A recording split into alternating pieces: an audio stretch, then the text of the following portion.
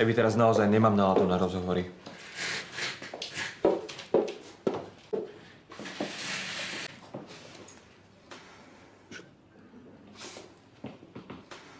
Čo robíš? Evi, prestaň. Presne toto naozaj nie je dobrý. Naozaj. By sme teraz nemali. Vieš čo, dobre.